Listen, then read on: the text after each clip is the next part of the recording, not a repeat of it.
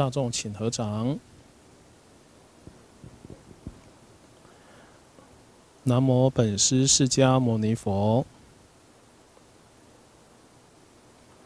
南无本师释迦牟尼佛。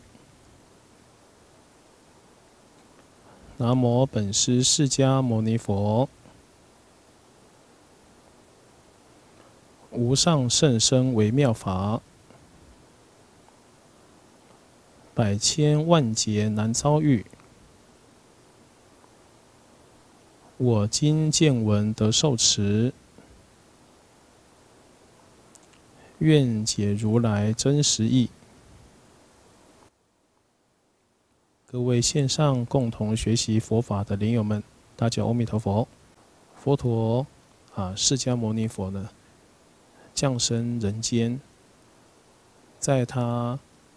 四十九年的弘法过程，甚至呢，我们往前推啊，在他一生呢八十年的岁月里面呢，从世间到出世间，从自我的修炼，乃至到啊帮助其他众生能够觉悟，那么这一生的过程呢，在经典里面呢。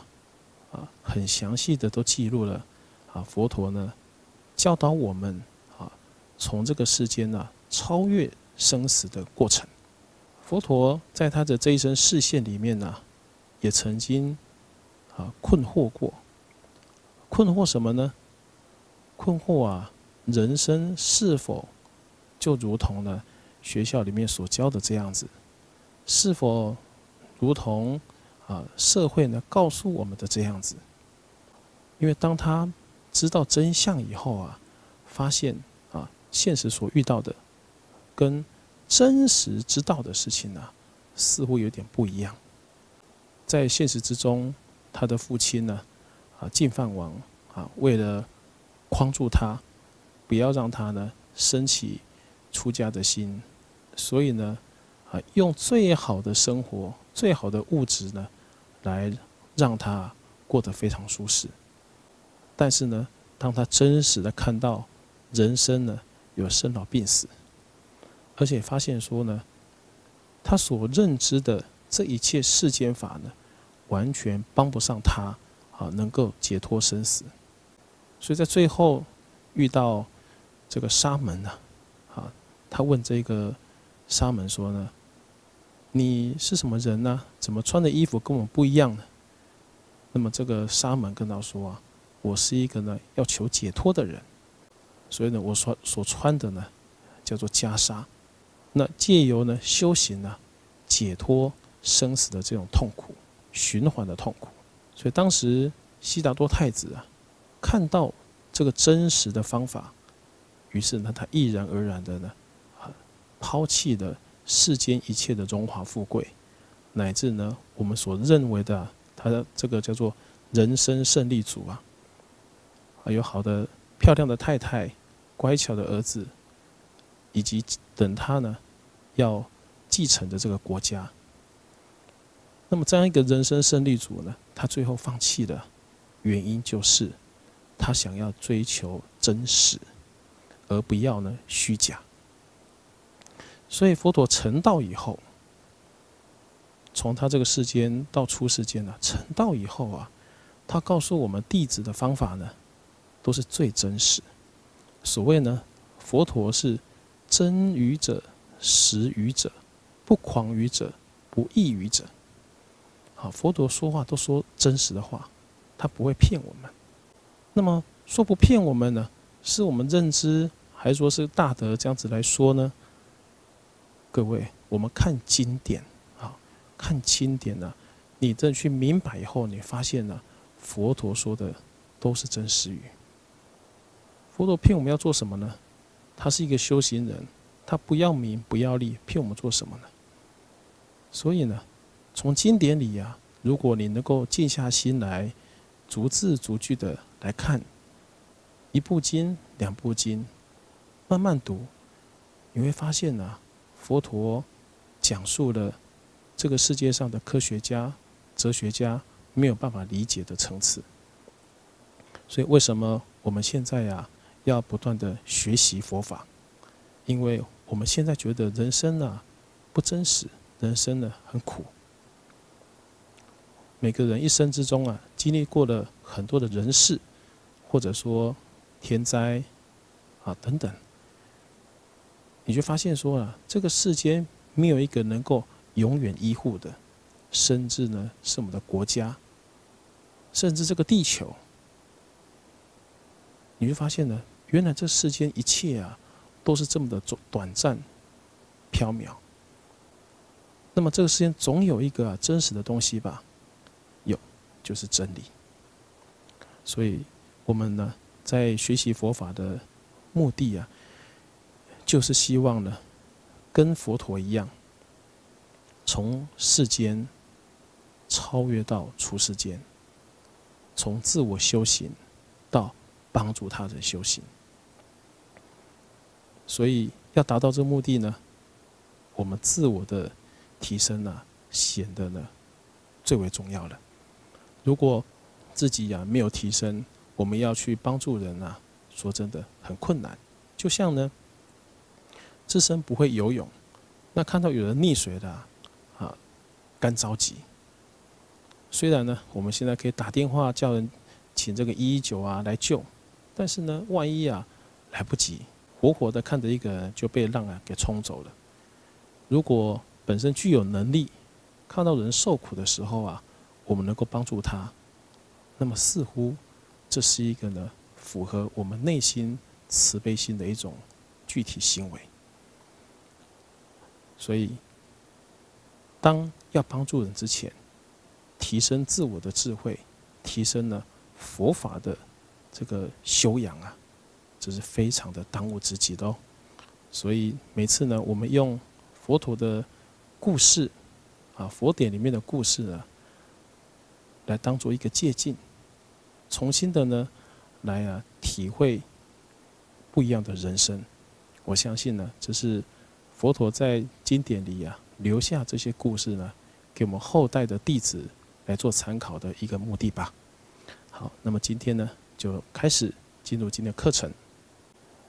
第一个啊，故事呢是婆罗门夫妇吞金钱为粮，身坏人取为福，即得道基。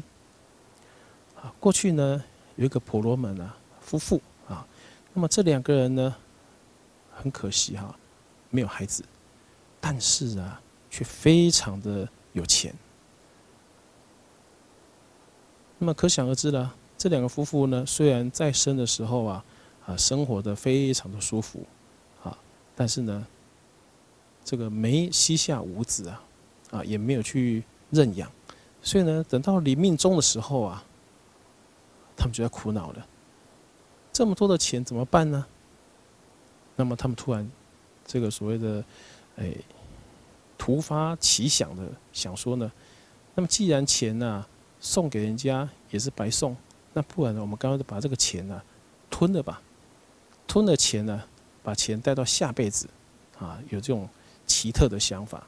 这两个夫妇啊，就忍痛啊，就把这个金币呀，啊，就把它吞下去了。哇，可想而知，吞的当下呢很痛苦，但是呢，当心里呀有这样一个偏差的想法，希望呢把钱带到下辈子的时候啊。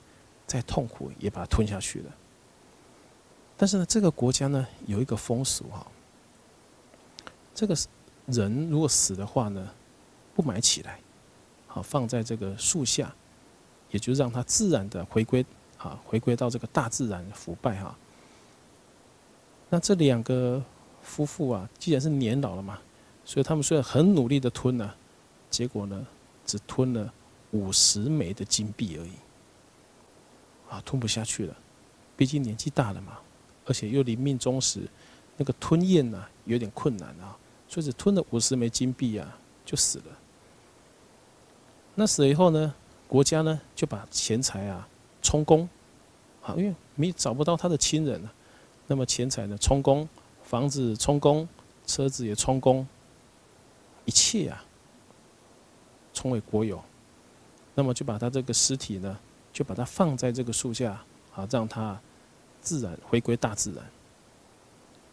但是呢，当身体啊慢慢的啊腐烂以后啊，色身没了，但是呢，他的这个金币啊，就从这个肚子胃袋里面呢滚了出来。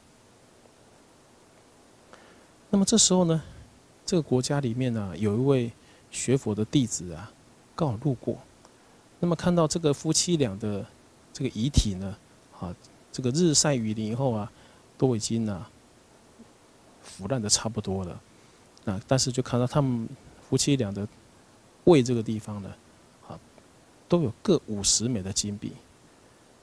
那么这这位佛弟子呢，之前就听过这两位菩萨啊的状况了，所以觉得他们两位啊很可惜，啊，一辈子呢有这么多的钱财呢，那没有去想说啊要去帮助人或者供养三宝。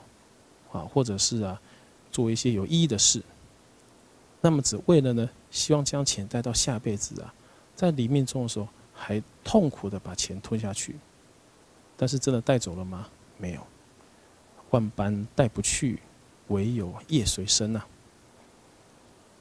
所以最后呢，身体腐烂的这个金钱呢，还在这个肚子里。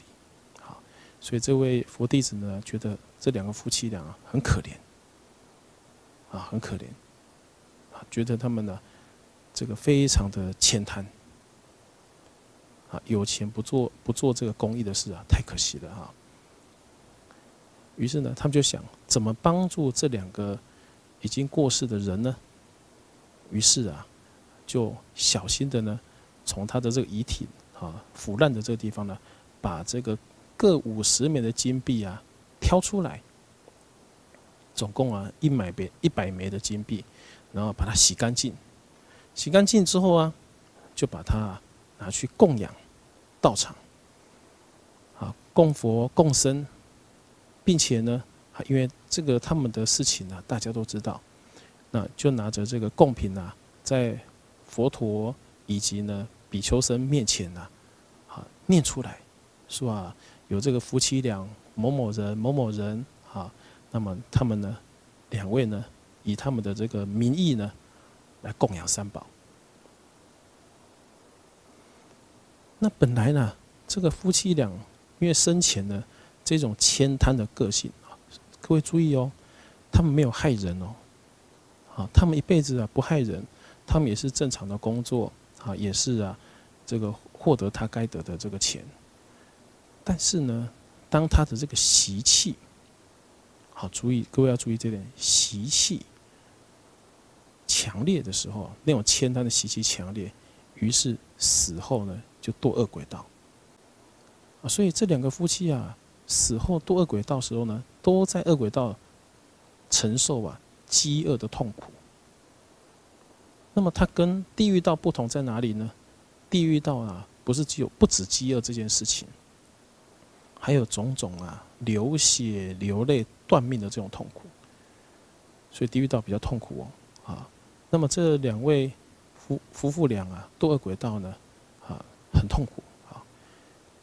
借由这个佛弟子呢，啊，帮他们把这个一百枚金币捡起来，供养三宝以后呢，啊，而且以他们的名义供养三宝以后啊，那么这两个夫妇呢，堕恶鬼道的就当天就升到天上了。那么当当他们升到天上之后呢，他们就会这个用天眼啊来看，说我为什么升到天上来？好，那么一看呢，发现说原来啊前辈子呢，他们两个是一个一对欠贪的夫妇，但是因为呢有这位居士的关系啊，所以呢让他们好能够升到天上来。于是这夫妇俩呢就从天上啊。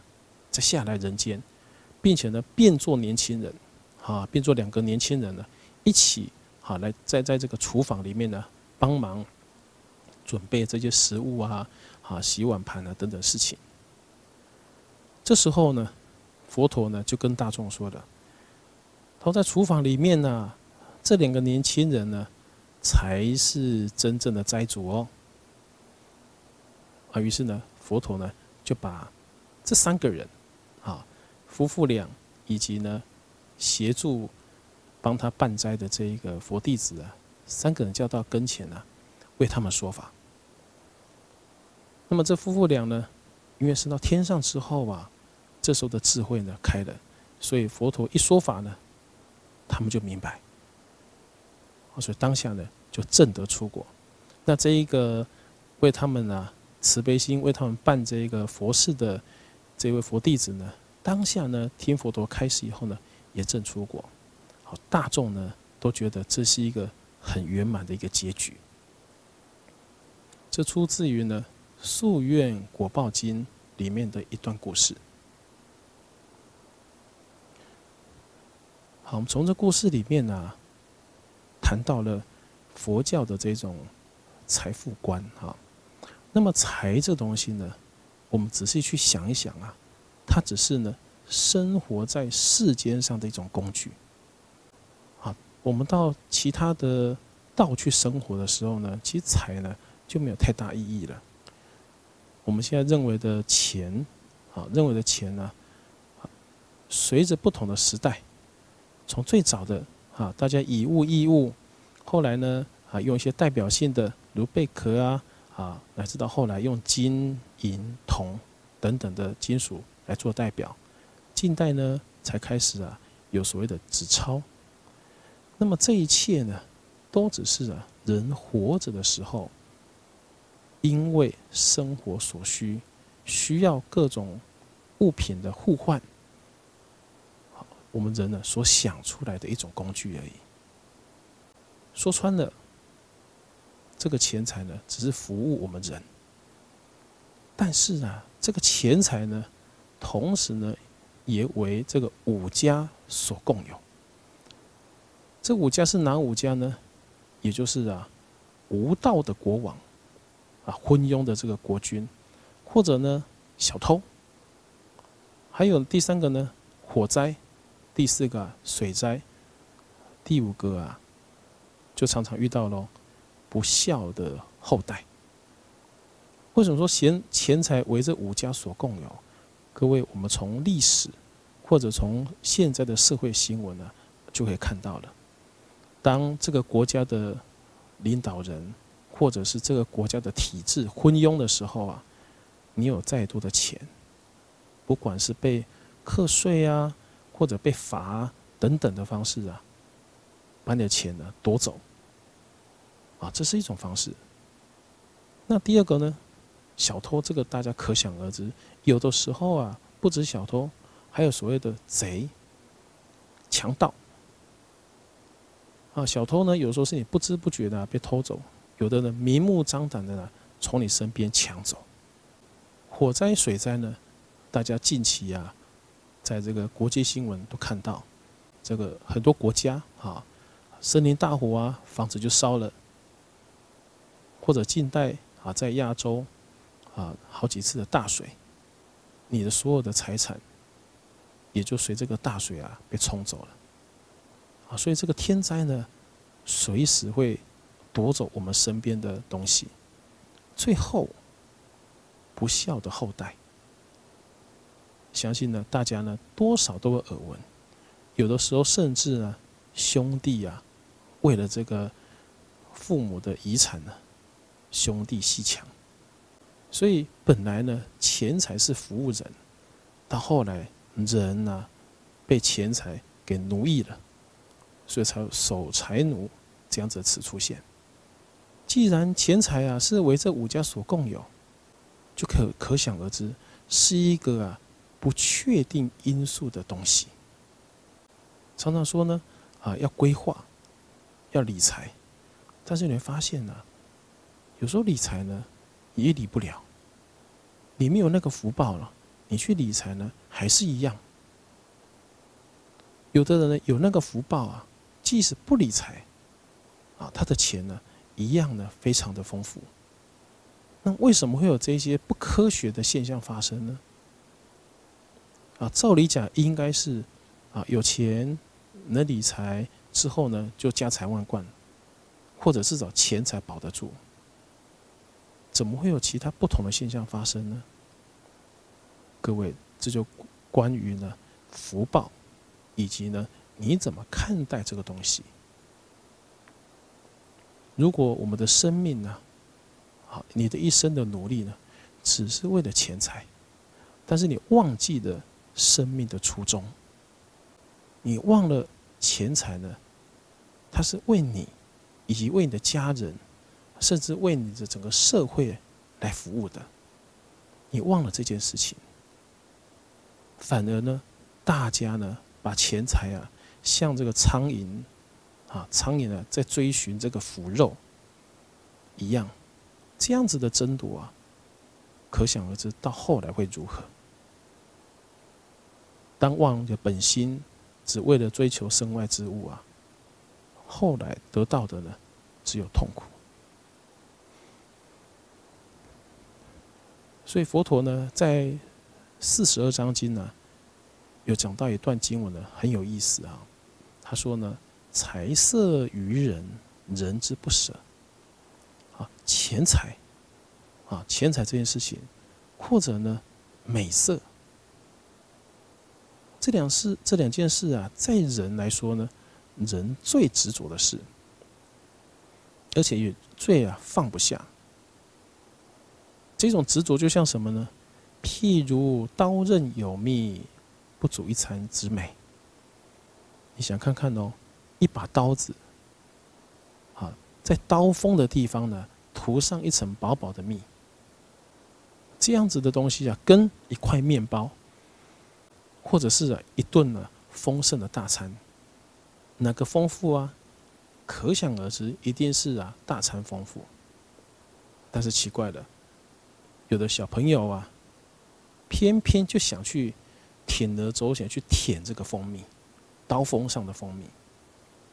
所以呢，小恶视之，则有割舌之患。如果孩子呢，只为了贪求这一点点的利益，而忽略掉啊真实的这个正餐的利益的话，你尝到点甜头，最危险的是什么呢？割了自己舌头。所以佛陀说呢，人遇到种种的欲望的时候啊，少欲知足。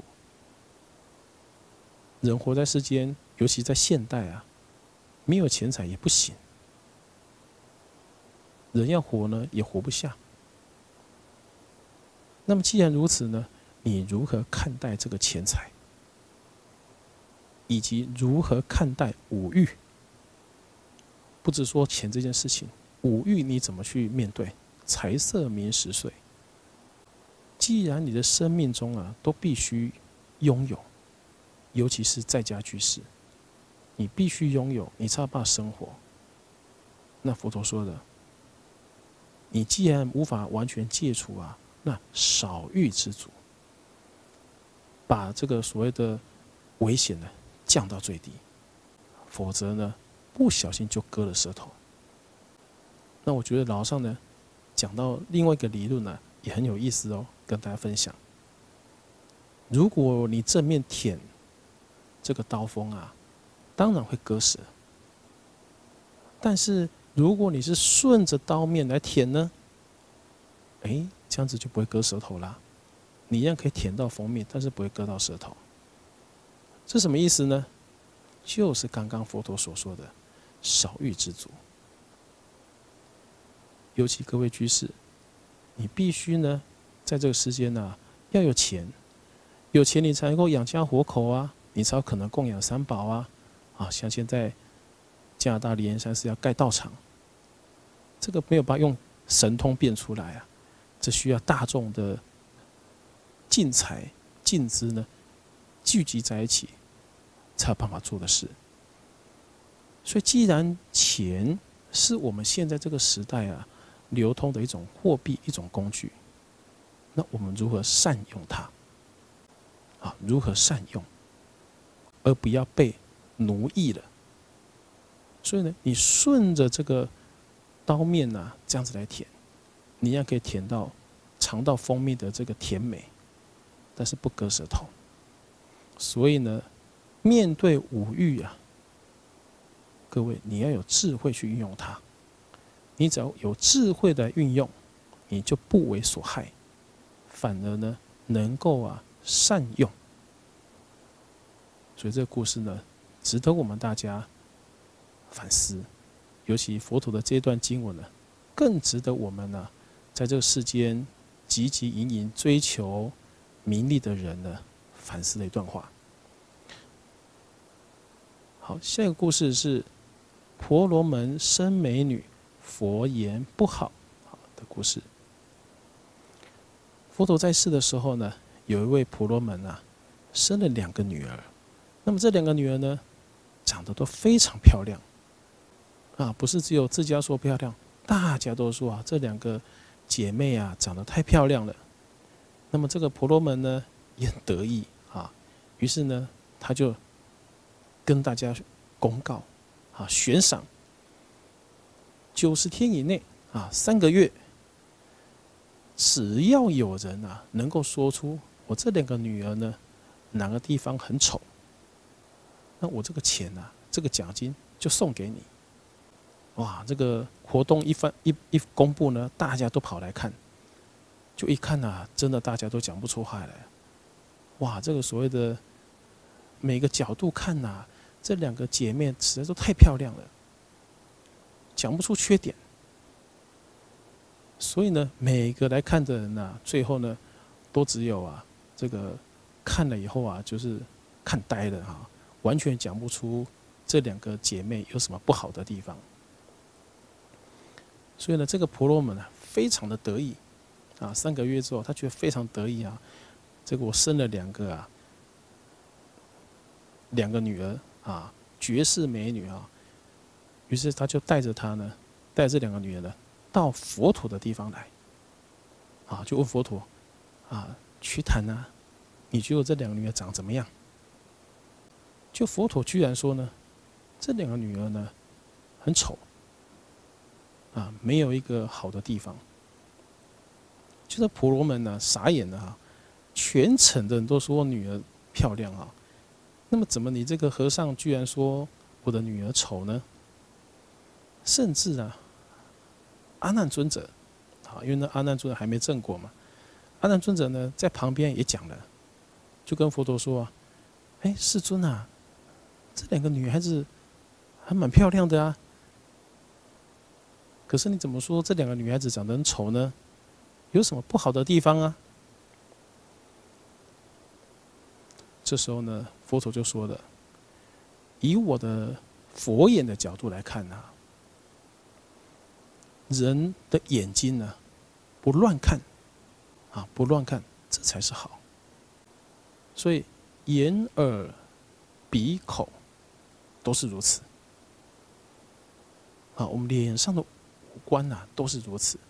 不要乱听，不要乱闻。”代表什么呢？你的心呐，很定。除此以外呢，身不着细滑，是为好。啊，你身体呢，你不会啊执着这些细软的触感，这才好。什么意思呢？代表我们的心啊，不会被外在给影响。接着呢，伸手不到他才视为好手。啊，很多人说哇，这个美女的手啊，纤纤玉手，很美。但佛陀说，不是，手不要乱偷人家东西，不要顺手牵羊，这才是好的手。所以能够做到啊，像刚刚所说的，眼、耳、鼻、舌、身啊，都这么的能够把持得住，那么这才叫做好。那什么是不好呢？眼视色，耳听音，鼻嗅香，身洗细滑，手洗到他财。当你一切，你的六根呐，都是向外在追求，哦，都向外在追求的时候啊，那么这时候你的心呢，心内无主了。那么这时候你所做一切啊。只是为了追求啊别人的追捧，如果是这样子，那就不好了。这出自于呢《杂譬喻经》呢里面的一段的对话。好，我们从这故事里呢，我们想一想啊，古德说啊，见见鸡皮鹤发，看看行不隆中，假饶金玉满堂，难免衰残老病。啊，古德讲到啊，世间的无常。你看哦，我们一个出生的年轻人啊，皮肤很紧绷，气色非常好。慢慢的呢，到青壮年的时候啊，我们的皱纹慢慢出现了。等到中老年的时候啊，老人斑就出现了。啊，即使呢，现在医学进步，打玻尿酸呐，啊，做很多的拉皮等等啊，人家一看就知道说，这个是已经上年纪的。所以人呢，生老病死。很自然的常常态，所以呢，渐渐鸡皮鹤发，头发呢本来黑的，慢慢变白了。本来呢身手矫健，年纪越长啊，走路呢慢慢变得啊不顺畅。即使你拥有再多的钱财，谁能够免除掉生老病死呢？所以呢，外貌。是最容易失去，但是呢，也是我们人呢最在乎的。在乎是什么意思啊？执着。我们人最容易执着，所以难怪呢，《金刚经》呢一开始就告诉我们要破相。虽然众生都知道，但是呢，就是放不下。所以佛陀呢叫我们去观呢。告诉我们呢，不要执着这个外在的假象，反而什么呢？你要追求是内心的真实。同时呢，在经典里面说呢，汝爱我心，我怜汝色，已是因缘，经百千劫，常在缠缚。我们想看看啊，在这个世间里呀。情欲，啊，情欲它表现在哪里呢？就在这个外向上。这个人间的人类啊，或者说万物，在繁衍呢，它一定呢是从外向的执着开始。所以，当我们去了解啊，到底什么是真实，你会发现呢，一般人呢，先从外表开始。彼此看上眼呢，渐渐的呢，就会啊，所谓的谈感情啊。那么谈感情之后呢，结婚生子。人类以及万物啊，就是这样子，每一代这样传承下来。这是一个生命的一个流程。不过，当我们明白佛法之后，就知道这个流程呢。只是一个因循，什么因循呢？既无奈，摆脱不了的一个循环。那我们现在学习佛法，就是知道说，这个循环呢，并不彻底，不就近，反而呢是让我们卷入一个无穷尽的漩涡。所以我们要学习说，如何超越。那么《楞严经》说的，我们为什么会堕入这样子的一个既有表象而产生的一个执着呢？就是从“汝爱我心，我怜汝色”，就从外表，从彼此恋爱的这种心态开始产生。所以百千劫啊，从着相、着感情，百千劫以来呢，我们都在。这个缠牵缠里面挣脱不了，所以呢，当看透情欲的外壳，为什么说它是外壳呢？当它的真实，你把那壳剥掉啊，你才会发现说，原来主要都在哪呢？都在我执。那么这个我执呢，让我们自己呀，陷入了深层的。漩涡，你当把这个壳拿掉了，明白看清楚了，你就知道原来我们执着的是一个什么虚假的事物。啊，如果它是真实不变，那还好。但你会发现呢，既然叫虚假，那么就是无常变迁。既然无常变迁，何必执着呢？当然，就像古德说的，你没有办法跟啊蜉蝣谈四季。蜉蝣啊，朝生暮死，你跟他谈四季啊，讲的太远了，他也听不懂，没有办法理解。同样的，当我们要明白佛法的真实意啊。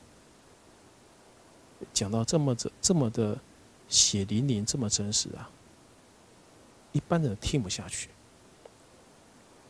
因为一般人呢就想醉生梦死。但各位，我们现在是佛的弟子，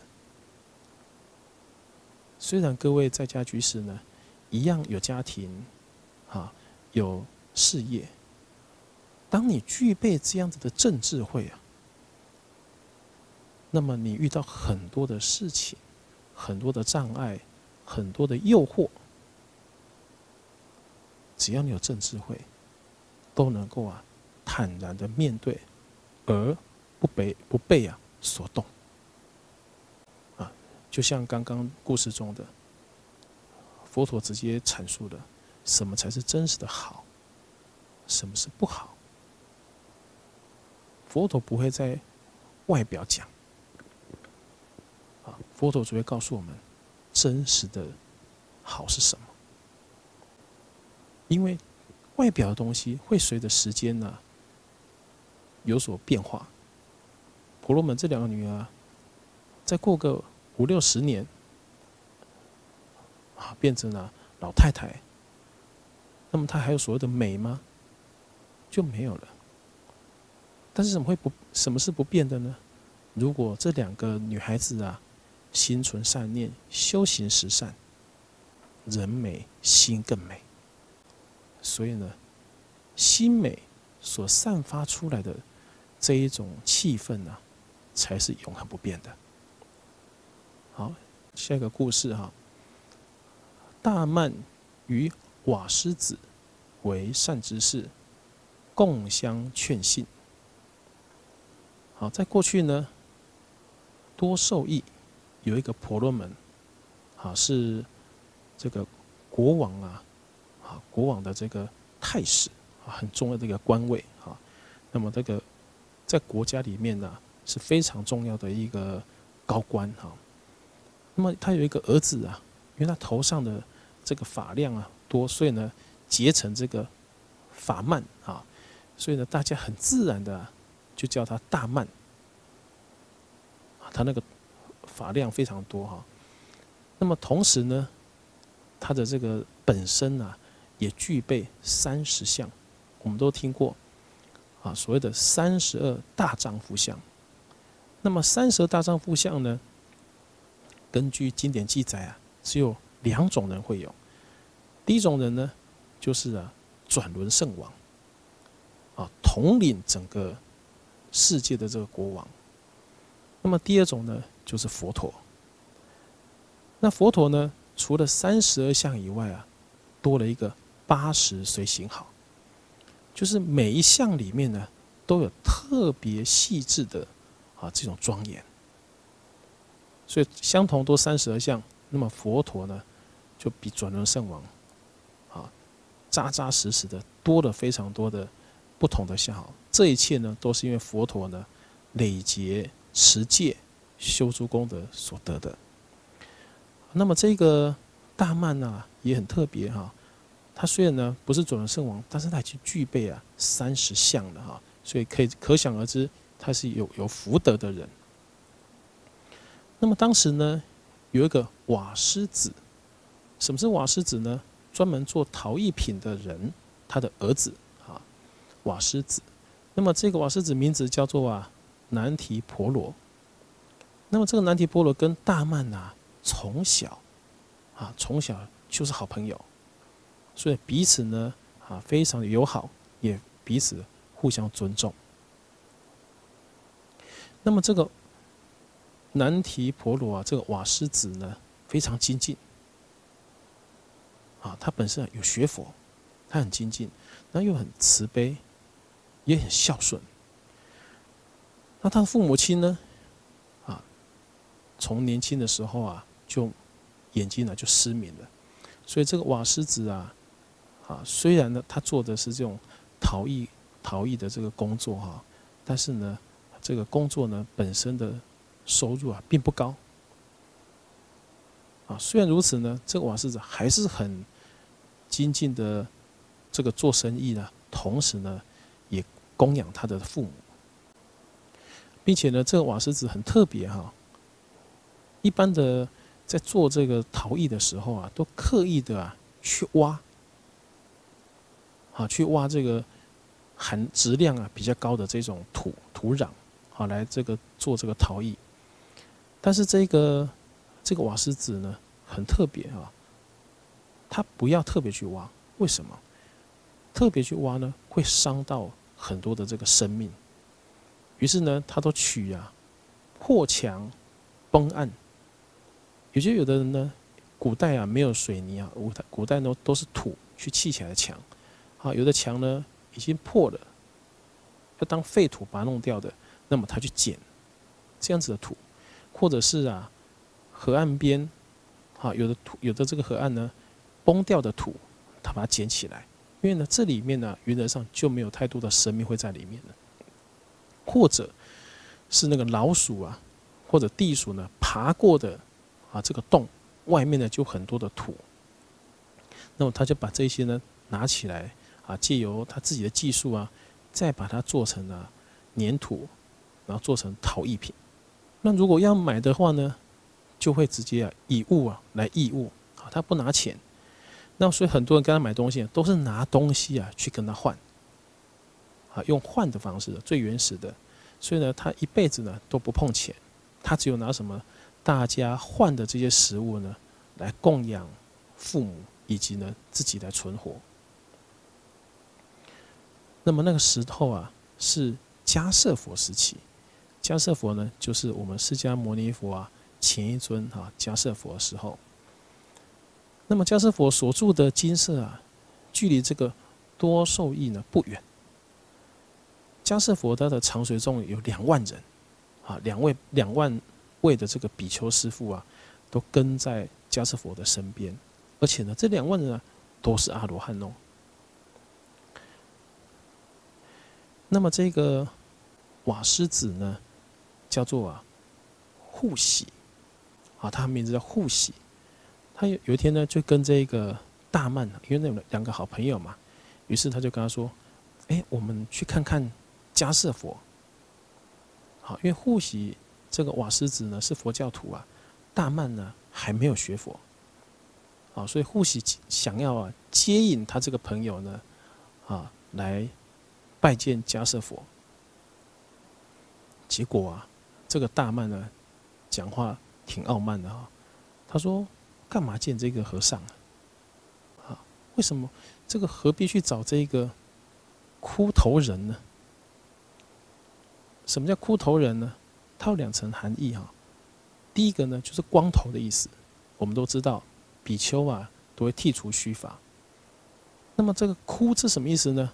在古代啊是一种刑罚，就是古人呢。啊，如果你有犯罪啊，就要把头发剃掉，好，这是一种刑罚。所以的意思呢，就是有一点呢暗指啊，这个迦舍佛呢没什么修行。好，所以他就大慢呢就很很傲慢的回答这个护喜说啊，干嘛去见他呢？他有什么样的修行呢？那么这个护喜啊，还是这个不放弃啊，一直劝他。说：“哎呀，佛陀能够降生来人间呐，不容易耶。我们还去看看吧，去听看佛陀说法啊。这样子啊，两三次，结果这个大曼呢，还是一样啊，坚持说不想去看。最后呢，这个护喜啊，就用个善巧方便说：那不然这样子，我们去河边呐，洗洗澡吧。天气那么热，啊，于是大曼呢，听到这个护喜啊，转移话题，他说：“嗯，这样也好啊，我们去洗澡好了。”那于是呢，护喜呢就带着大曼啊，到他们郊外的这个河流啊去洗澡。那里那里啊，就更靠近迦舍佛所住的这个金色。于是呢，护喜呢就举着手说啊，就指说：“哎，迦舍佛的金色啊，不远嘞，我们过岸就到嘞。”我们都已经走到这边了嘛，那我们去看看好了。就大曼还是非常坚持啊，就说不要不要不要，我不想去看，啊，你不要勉强我。于是说完以后啊，就要上就要上岸了哈，就想要回家了。这时候护喜啊，就抓住大曼的衣服。那么大曼说：“算了，你要抓，那干脆衣服就脱了吧，就把上衣脱掉，就走，要回家了。”这时候护喜啊。啊，过来呢，就把他的头啊抓住。尤其是什么，他的头发，因为大曼的头发特别茂密嘛，就把头发抓住啊，告诉他：“哎，好兄弟，走，我们去看佛。”当时的这个民俗是这样子啊，如果啊头发被抓住，都是准备啊进行啊斩头的意思。各位应该有看过古书哈。啊，被斩头的时候呢，这个刽子手啊，就会把这个这个刑犯人的头发抓着，让他头不要乱动，然后刀子砍下去。啊，所以呢，大曼突然他的这个头发被他的这个同学呢，啊，这个好朋友啊抓住的时候啊，心里吓一跳啊。他想啊，哎，护喜怎么样抓住我头啊？他是有什么样子的想法？那护喜就就开玩笑说啊，他说你不用担心，啊，我不是啊，要对你有什么样的这个呃动坏念头，我只是希望你啊跟我去看看迦舍佛就好了，啊，这时候大门就想，算了，都已经走到这地步了哈，从刚刚还在家里的时候就一直劝我啊，到现在。来来洗个澡呢，也这样劝我，甚至啊，都做出这样的动作让我吓一跳啊，还是要我去看佛。大概大概这个加舍佛有什么特别的地方吧？让我这个老朋友啊，居然会做出这样动作，那不然去看看好了。然后，于是他们就说：“好了，你把手放开了，你放开，我我跟你去，我跟你去。”啊。那于是呢，这个护喜手就放，啊，放了以后啊，因为刚一抓呢，那个头发都散了啊。于是呢，大曼赶快呢把他的头发整理好，那把衣服穿好呢，就跟着护喜呢一起去见这个迦舍佛。那么这两个年轻人呢，到迦舍佛面前的时候啊，护喜呢就跟佛陀禀白了啊，他说：“这个大曼啊，是我从小的好朋友。”啊，非常要好的朋友，但是啊，他不相信三宝，也不认识的，啊，因为不认识，所以他也不相信。希望呢，世尊啊，你能够跟他开导开导啊。那么当时呢，这个大曼呢，看到佛的时候呢，他真的看到佛的时候啊，他吓跳啊，啊，他吓一跳，为什么呢？刚刚说了嘛。他自己本身具有三十相，一般人是没有的啊。一般一般的凡人不会有这种三三十二相的这种相貌出现，这种特征啊。那因为他自己本身具有三十相，所以呢，他就仔细观察，哎，经典里面记载的这些相啊，迦舍佛都有哎，啊，都有看到哎。那么只有两个相呢，我看不到。啊，他动这个念头。那么迦舍佛呢，当下呢，知道啊，大曼心在想什么，于是呢，他就现了第三十一相，什么呢？我们读《阿弥陀经》就念到了粗广长舌相。啊，于是呢，迦舍佛啊，就生出广长舌相。多少呢？可以盖住脸。甚至呢能够碰到头顶，还能够啊碰到耳朵。啊，粗广长舌相之前我们讲过，都是因为啊口业清净，啊，所以呢能够粗广长舌。那佛陀现这个相之后呢，就收回他的口里。那么最后一个是什么呢？马音长相，就是佛陀放大光明。啊，这光明呢，比太阳、月亮都还亮。这光呢，照到了色界天。最后呢，这光明呢，绕佛陀七身以后啊，从顶上入。那么佛陀呢，就现这个马音长相呢，给这个大曼看。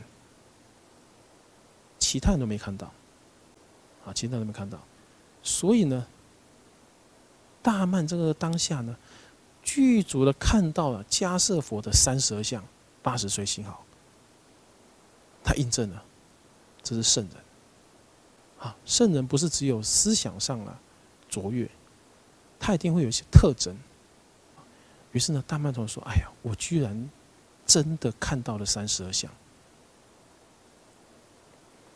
这时候呢，迦舍佛呢就为啊大曼童子说啊，菩萨断功德，好，就做一个菩萨呢，有所谓的断德。好，那什么是断德呢？法身不可行而行，口不可言而言，意不可念而念，是为菩萨善恶行。我们在。修行呢，有所谓的智德跟断德。那么智德呢，指的就是啊我们的佛性。啊，佛性呢，从最刚开始为因，乃至到最后成佛呢，这一切的智慧产生的，即是智德，也就是本具。但断德呢，是必须靠后天的修行。啊断德就是什么呢？断除一切啊身口意的恶。当身口意的恶能够断除，智德才能够啊显现。啊，如果呢这个断德不清楚，也就是无明烦恼没有断清楚啊，智德是没有办法完全的显现出来的。所以呢，迦舍佛啊就开示了大曼这个童子呢。告诉他身口意三业啊，如果造恶的，那么让这个菩萨呢是没有办法证得智德的。那么这个大曼当下呢，听了佛陀开示以后啊，他就在佛陀面前呢忏悔。为什么呢？因为他的口业啊，啊刚刚不不清净，啊，在他的好朋友。好，这个瓦师子啊，劝他的时候啊，他说了一句啊，不亲近、不尊重的话。于是呢，他就在迦舍佛面前呢忏悔，而且呢，不是一次哦，连续忏悔三次。原来说他不是说吗？他说干嘛去见迦舍佛啊？啊，他只是一个枯头人而已，啊，他没有修行，就这样随便的一句话。那么迦舍佛呢，看到大曼的这样忏悔啊，接受了。所以大曼呢，跟护喜呢，啊，听了佛陀开示之后呢，后来就回家了。那么在路上啊，大曼就跟这个护喜说呢，他说啊，亲为师利，不为得利。我不喜见亲面，不喜闻亲名。好，他有点。有点开玩笑方式啊，他说啊，好朋友啊，你呀，你真的是遇到的好事啊，但是呢，你没有，你没有把握这个机会，啊，你没有把握这机会，所以呢，我不想看到你了。那护喜就说：“怎么了？你怎么这样说呢？”大曼就说了：“你很早就开始学佛了。”那你既然都学佛这么久了，你怎么还在家？啊所以他才说，你你遇到佛陀这么好的一个事情，这么好利益的事情，你怎么居然没有把握呢？所以他才说呢，你既然学佛了，应该出家嘛，你怎么还在家呢？护喜就说了：“哎，老老朋友啊，我父母年老了，而且呢，两个啊都失明了，我必须养他们两个啊，没有办法出家。啊，如果真的坚持出家的话，很有可能呢，我这两个我父母啊，活不下去。所以是这个关系呢，所以我才不出家的。如果啊，我真的父母健在啊，身体健康。”还有其他兄弟姐妹能够照顾的话，我早就出家去了。结果这个大曼就说了：“我刚刚啊，从迦舍佛听菩萨行三恶缘对，我发现一件事情：如果还是我在家的这种方式来修行呢，我的断德成就不了，我的身口意啊，很难维持维持这个清净。”所以呢，我想要啊，跟佛出家。为什么？我知道真理了，知道真理走，我怎么可能还走走那个回头路呢？所以我想要去出家。这时候啊，这个他老朋友这个护习说：“善哉大曼，好啊，啊，给你按一个赞。哇，你怎么那么的会想呢？”而且你现在想到，赶快去，啊，赶快随佛出家。为什么呢？能够遇到佛陀啊，不是那么容易的事。尤其呢，佛陀，你又跟佛陀能够我们同一个时期啊，这个时候这个机会太难得了。这时候呢，大曼呢听到他的这个老朋友啊，这么的认同他，于是呢，抱着这个护喜啊。跟他感谢，好，最后呢，跟他合掌，跟他谢谢说啊，如果啊，我之前身口意啊，有对你啊不恭敬的地方，希望你见谅。好，他指的就是啊，那时候呢，护喜劝他去这个见迦舍佛的时候，好，然后大曼呢出言不逊的这个过程啊，所以他说呢。如果生口意啊，有对你不敬的地方，希望你原谅我。啊，只有你呢，告诉我的真正的真理大道。这时候呢，大曼呢就说了一个寄颂：人为我善友，法有无所贪，导我以正道，是有佛所欲。人呢，就指仁者，就是指你啊，你是我最好的朋友了。那么我们呢，在法上面呢，除了是在人间是好朋友以外，在法上也是好朋友。那么法友呢，不贪你什么东西？为什么？大家以法来相会嘛。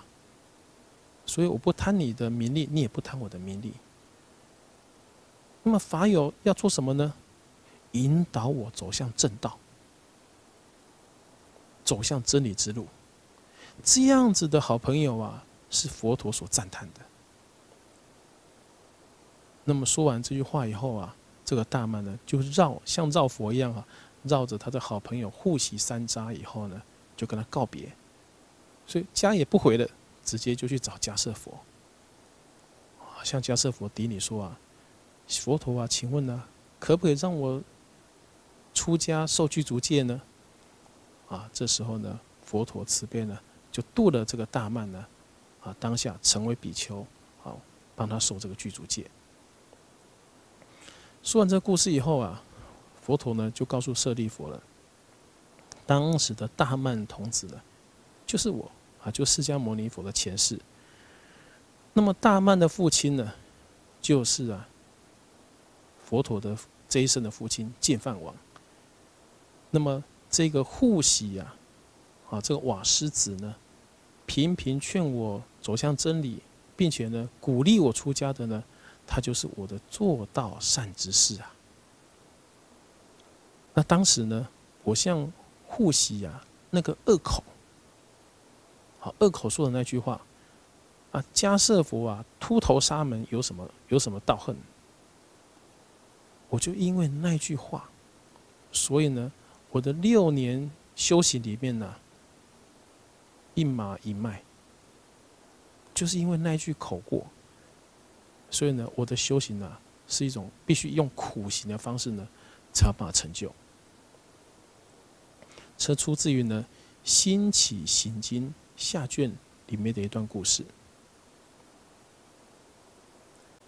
好，我们刚从这个故事里面呢看到一句话啊，“做到善知识”，好，这个词其实呢就是我们常常听到的“同行善知识”。什么叫同行善知识呢？意思就是指啊，同样修行的人，互相策发，策发什么？策发道心。难免呢，我们在修行过程里面呢。遇到事情，或者呢，当呃没有进步的时候啊，产生倦怠感，这时候呢，彼此互相鼓励，发起道心，继续坚持往前走，或者呢，切磋琢磨啊，彼此呢，万一有过失的时候呢，互相的告诉自己，互相告诉彼此，目的啊，不是对人。而是希望呢，我们这个好朋友啊，你不要堕落啊，就像刚故事中的护喜啊，不断的劝大曼一样，并心齐志，如成一船啊，让彼此互相鼓励，互相切磋，目的在哪呢？就像啊，我们在同一条船上啊，这条船上呢，同舟共济，所以我帮你，你帮我。我们这条船呢，就能很顺利的啊到达彼岸。这就同行善知识的一个重要性。那么第二个呢，我们刚刚从这故事中看到，一句恶口，果报六年。啊，当时释迦牟尼佛他的前世啊，因为这么一句话，各位注意哦，一句话而已哦，果报六年。各位想看看。我们今生有没有说过恶口啊？口业有四种嘛，两舌、恶口、妄言、绮语。如果口业不清净，啊，今天讲个妄语，明天讲个恶口，后天呢，哎，讲个两舌，大后天呢，讲个绮语。各位啊，如果我们一生之中三不五时都在造口业，还先不要讲。意业跟深业哦，啊，时常造口业，下辈子你想要过得很自在吗？很有可能吗？我们从这个故事啊就可以知道了。所以口一生这个所谓的生命的不顺利啊，很多都是我们自己呢所造的因。所以呢，故事让我们产生这个警惕。所以说呢。况今时人口业民生，现代啊，大家文化水平拉高了，但是呢，口业没有比较好，甚至呢，现在鼓励啊造口业。如果我们同一代的人呢，还可以知道说啊，某些人就是某些人自己的想法，但如果这种观念呢传递给下一代，让下一代的人，下一代的人呢。说话呢，口沫遮拦，啊，这样四种口业拼命造，那可想而知，后果会如何？所以呢，要让我们的生命能够自在，生活呢能够顺遂啊，除了身心啊的把持以外，口业非常关键，因为呢，口业都是往往是啊。我们认为没什么关系，但是在所造成的影响呢，不容小觑。好，那么今天的故事就到讲到这边。那么我们现在做回向，各位请合掌。愿以此功德，庄严佛净土，上报四圣恩，下济六凡苦。所有法界众悉修菩提恨，尽此一报身，同生极乐国。阿弥陀佛。